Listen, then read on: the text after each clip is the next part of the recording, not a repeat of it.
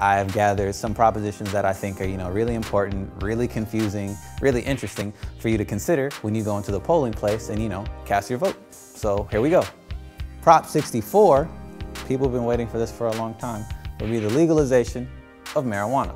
So that would basically mean if you vote yes on this, people over 21 could do a bunch of stuff with weed legally. They could grow it, sell it, smoke it, and a bunch of other things, but there's obviously laws and regulations and you know testing and things that go into it. And if you vote no, that means that you're against it. So weed would remain illegal in the state of California, failing once more. Proposition 60, if passed, would require all porn to use condoms during filming.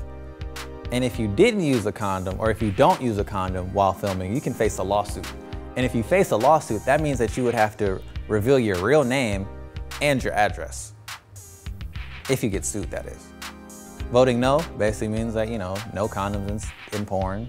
They can keep doing what they've been doing for the past X amount of years and be about their way. Then there's Proposition 56. Voting yes on Prop 56 basically increases the taxing on cigarettes by $2, going from 87 cents to 287 but it also applies to other tobacco products, including e-cigarettes. Voting no basically means that the tax stays the same and nothing changes. I hope that that helped. If it didn't, you might be dumb or I might be dumb. One of us is dumb if that wasn't clear enough for you. But the moral of the story is do your own research. I mean, I have my opinions, I have the way that I see the world, but you have your own. So, you know, look it up. When you see these commercials on TV, look at who's funding them. Look at where that money's coming from. Look at where that money's going. You know, see what's in the best interest for you, your family, your friends, and your community when you look up these propositions and these local measures.